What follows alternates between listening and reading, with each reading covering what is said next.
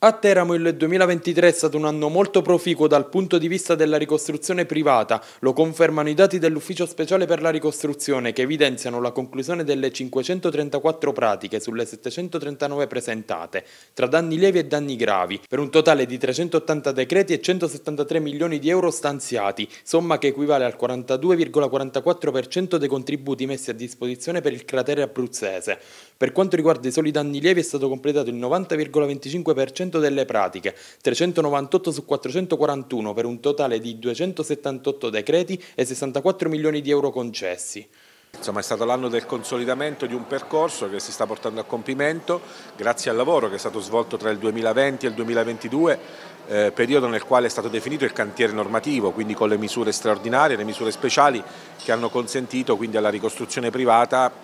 di eh, vedere una luce diversa e di incrementare i numeri. Così è stato nella nostra città più che nelle altre realtà del cratere sismico eh, abruzzese. Per quanto riguarda i danni lievi abbiamo abbiamo superato il 90% delle pratiche eh, concluse rispetto a quelle presentate. Il dato significativo è quello dei contributi, che abbiamo 173 milioni di euro erogati eh, in favore ovviamente del, dei cittadini teramani nel, nel percorso di, di, ricostruzione che quota oltre il 40%, 42% delle somme complessive erogate sul cratere a fronte di un numero di danni che Teramo ha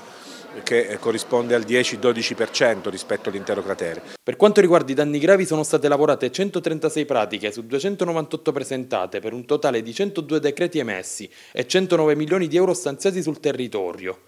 Si sta lavorando adesso per quanto riguarda le procedure relative ai danni gravi dove si è superato addirittura il 40%, quindi eh, nel rispetto delle scadenze fissate dalla legge anche sui danni gravi si sta arrivando a, a numeri importanti. Chiaro che abbiamo scadenze diverse legate anche al CAS, non dimentichiamolo, quindi adesso si sta procedendo con l'USR, la struttura commissariale, ad accelerare il percorso relativo alla ricostruzione dei danni, eh, dei danni gravi. Teramo in questo, in questo senso è capofila e eh, guida diciamo, questo percorso di ricostruzione e dovremmo andare in questa direzione auspicando che anche l'edilizia pubblica residenziale, penso le case ATER, finalmente possano vedere nella nostra realtà, nel nostro territorio ovviamente un, un percorso che riporti le famiglie nelle loro abitazioni.